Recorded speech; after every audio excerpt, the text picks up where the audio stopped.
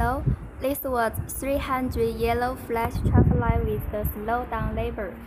At first, you need check the traffic light Y with the power supply. Then please the turn on switch. At first, you can see the slow down with the flash function.